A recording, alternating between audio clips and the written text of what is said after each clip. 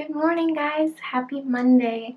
Today is my long-awaited neurosurgeon appointment. I am just trying to get ready, but it's really exhausting. I'm definitely not feeling well. It's going to be a very long day um, because he is almost always running very, very late. So it's not uncommon to be in his waiting room like three or four hours before we even see him. So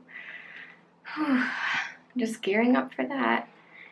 I'm definitely a little bit nervous because I don't really know what he's going to say. I hope that between my symptoms and my imaging, we can figure out what's going on and how we can fix that. We are here. Oops. Oh, I'm like that. I can't do that. So we are here at the doctor's office. We got here a little bit early and I'm feeling really rough. So they let us uh, fill out the paperwork here in the car, which is really nice. And they're going to call us and he is ready for us. Say hi, Mama.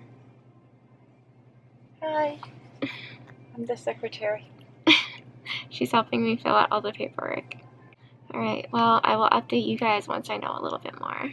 My appointment actually went really smoothly today. Although our appointment time was 3 o'clock and we probably didn't see him until around 6.30. Now it's quite a bit after 8 and we are just getting settled back in here at home. He looked at my imaging and he listened to everything I had to say and yeah, things are unstable in my neck, which we knew, but now we know. My neck was fused in so many surgeries and it was kind of pieced together with small fusions and then I had the flexible fusions in between.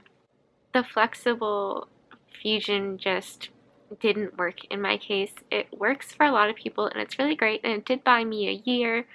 It just isn't working for me we could see the place that I had that sliding going on and we can also see the place where I have grinding of the hardware.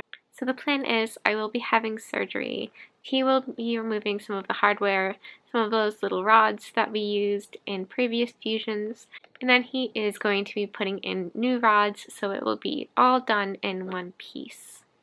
So this means I will be having surgery from my C2 vertebra right at the base of my skull all the way down to my T3 vertebra, which is in your upper back.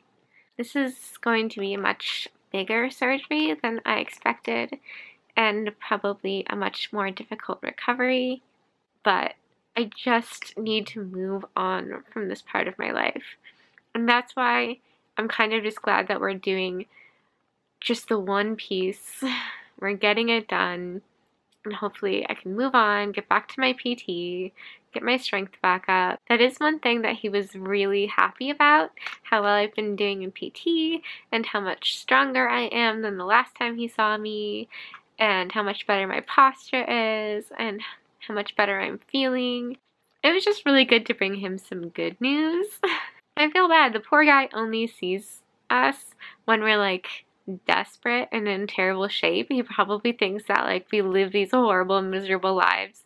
When in reality, I had a really good run in between my last few surgeries. I really did. And I have a lot of hope that this next surgery is going to give me the best chance I could have at a good recovery. Definitely don't take this as, oh, flexible fusions don't work and stuff like that they do work and they work really well for a lot of people. But there are some of us who it's just not enough. And unfortunately, it's hard for the surgeons to know who it would be enough for and who it won't be. It's just one of those things, but I'm kind of glad I tried it.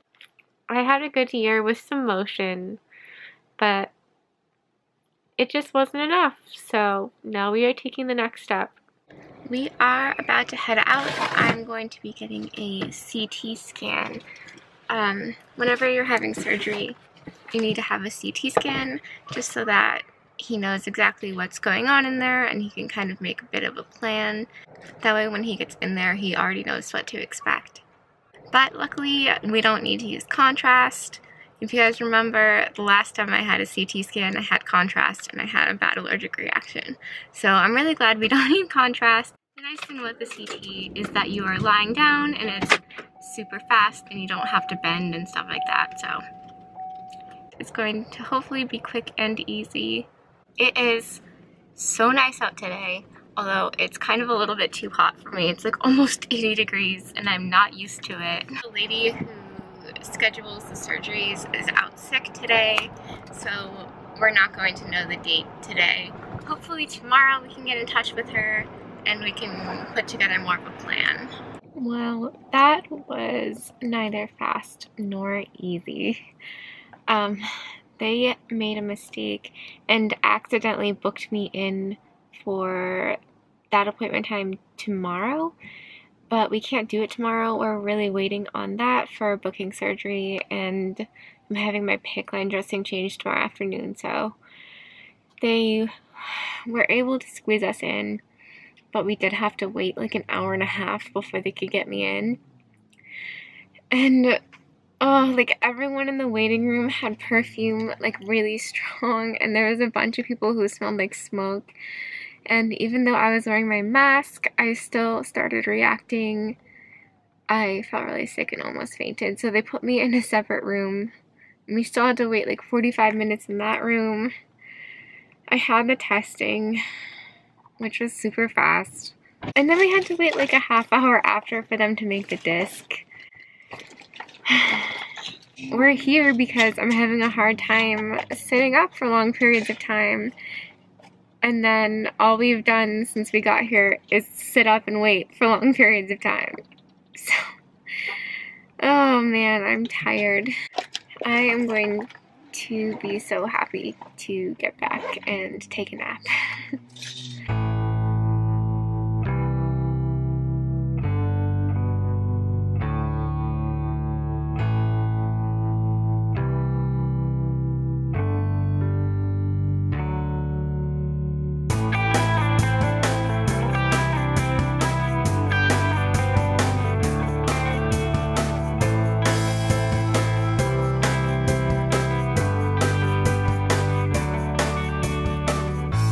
call from scheduling today that the next available surgery slot is not until the 26th at the end of this month. That's about three weeks away. And I honestly am kind of bummed out. I was hoping it would be sooner. I don't really know what we're going to do. We can't just sit down here for three weeks and wait for surgery but I don't know how I'm going to make it home and then make it back again. Like, I kind of just put everything I had into getting here, and now the thought of having to do it all again is really difficult. I only sit up for like 20 or 30 minutes. So, the idea of like an eight hour, eight and a half hour car ride is really rough. There's not really anything I can do except for hope and pray that there's a cancellation in his schedule that they are able to slip me into. Kind of kills me to think about waiting around for three more weeks and then deteriorating further. It's going to be harder to recover. I just want to go into surgery as strong as I could possibly be so that the recovery process is a little bit easier but I know that I have to wait my turn, and there are many, many more people who are much more desperate than me who have waited their turn and waited a very long time for their surgeries. So I can't really complain. And I have definitely been one of those emergency surgeries in the past that absolutely need to be taken care of. First priority right now. And so I cannot be mad that I have to wait. I'm going to just wait my turn and I'll be praying for all of the people who come before me, wishing you guys the best on your recovery as well. Hopefully, I get to meet some of you guys while I'm down here.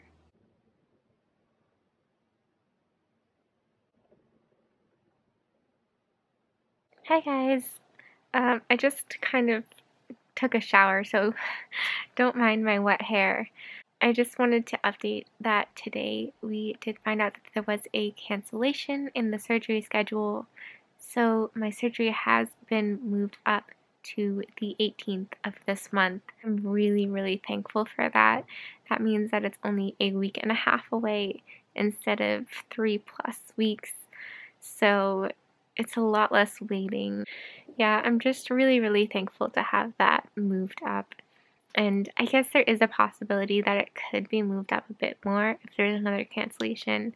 It doesn't look like there will be, but I think that we're going to stay in town anyway.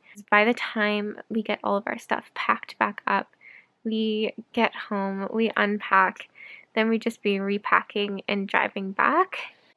And to be perfectly honest, I really don't think that I can make that drive right now. I just can't sit up that long. And the motion is just really, really hard when you have bad vertigo and you have bad nausea already. I just get immediately car sick and it's pretty miserable. So I'm pretty glad to just be staying put and resting. I'm really fortunate that my mom is going to be able to do some of her work from her laptop here so that we don't have to rush home for her to get back to work. Anyway, I'm so exhausted from my shower, so I'm gonna bid you guys good night. Hi guys! Look at me! I made it outside! Huge shout out to Zofran, which is an anti-nausea medication.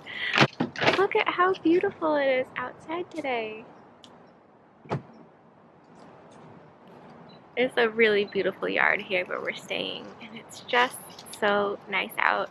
Just sitting here with my blanket, just basking in the sun. My mom is doing yard work. she loves yard work. Oh, Yes, Christina with Callie, I think she's getting like. the schnauzer poo from next door. Oh, how old? About like seven So weeks? She's nine weeks. now. Nine Yeah. weeks. Uh, She's getting antsy. so very cute. If you guys remember about a month ago in one of my vlogs, I talked about this new style of neck brace I bought. And since then, I have gotten a lot of comments and questions about it. And I did promise that I would keep you guys updated on how I am liking it. So now, like I said, I've been wearing it for about a month, pretty much straight. I've learned some little tricks about it that I thought I might share with you guys. But first of all, a lot of you wanted to know, is it still comfortable? And my answer is still yes. I still find it a whole lot more comfortable than the old model. This model is called the Aspen Multi-Post Therapy Collar, and it is a bit different because it does have this little air pump in it. If you guys want to learn a little bit more about that aspect, I will link my first video where I talk about it up here and down in the description. And then a lot of the other questions were about fit. I know that a lot of us tend to have a hard time when it comes to fitting the right neck brace just because a lot of us have pretty long necks but very thin necks and so it's kind of hard to find a brace that works. This brace isn't really the exception to that. When I got it, the first thing I noticed was it was pretty wide, but I have come up with some little tips and tricks to get it nice and tight and they really do work. So I do think this is a good option for people who are having a hard time, especially with little necks like me. I'm going to take this off and I'm going to show you what I'm talking about. This is ridiculous. I'm putting on a neck brace so I can show you guys a neck brace. okay. Okay, so again, here is the brace. And just like I said in my last video, this white piece does not come on this brace. This was actually a piece that was on a different model that I had and I put it on here. So I'm going to take that off to show you exactly what it comes with. Okay, so this is how the brace comes. This is the white piece I was talking about. So that does not come with it. It looks like this. A lot of the problems I was having with the size was just that I wasn't able to adjust the Velcro enough to make it as tight as I wanted. Another thing about this brace is it has two different kinds of straps. On one side, it has a strap like this that is fed through and loops back around. The idea is that you keep this side adjusted at all times. So when you take it on and off, you will be using this side with the tab. As you can see, this is a little bit different than the other side. I was having a hard time adjusting both of the sides to be tight enough, so I'm going to show you what I do. On this side, they give you really just this very small little circle of Velcro to stick to, and then of course this is Velcro as well. So really, it's supposed to fasten just about to here.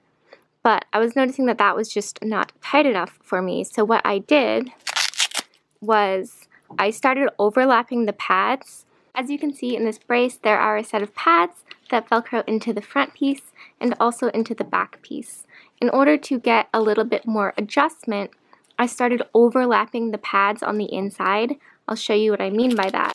So right now, it can only velcro this far, but when I take the pad from the back and slide it in between this hard part in the front and the pad in the front, now you can see I'm able to pull this all the way back and I started actually sticking it right in to the pad back here.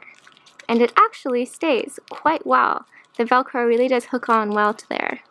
So that is how I adjust that side. The other side, I do pretty much the same thing when I put it on. I undo the strap. I make sure that this back pad right here is slipped in between the hard plastic of the front and the pad of the front. That way I am able to pull this much, much tighter than I would be able to do if I overlapped the pads the way that you're supposed to. As you can see, that also makes it a bit more padded in the back, which is kind of nice and pretty comfortable. It fits quite well. So that is how I make it tighter. I hope that makes sense. If not, you can feel free to message me with questions, but that's just how I do it. I think that I'm going to end up attaching another Velcro strip back here, probably just sew it on. That way I don't wear out the fabric back there. Alright guys, that is it for this week. I'm so tired from sitting up outside today, but it was so, so worth it to get a little bit of fresh air and sunlight. Thank you guys so much for spending the week with me and for all of your sweet comments and messages over the last couple weeks. I really, really appreciate your support. I'm still having a little bit of trouble with keeping up with all of the comments just because I'm still having problems with my vision and screens. So if I do not get back to you right away, please do not feel bad. It's nothing personal. Until next week, I love you guys. If you liked this video, please give it a thumbs up. If you want to see more videos like this, I would appreciate it if you would subscribe. And I'll see you guys tomorrow. Bye.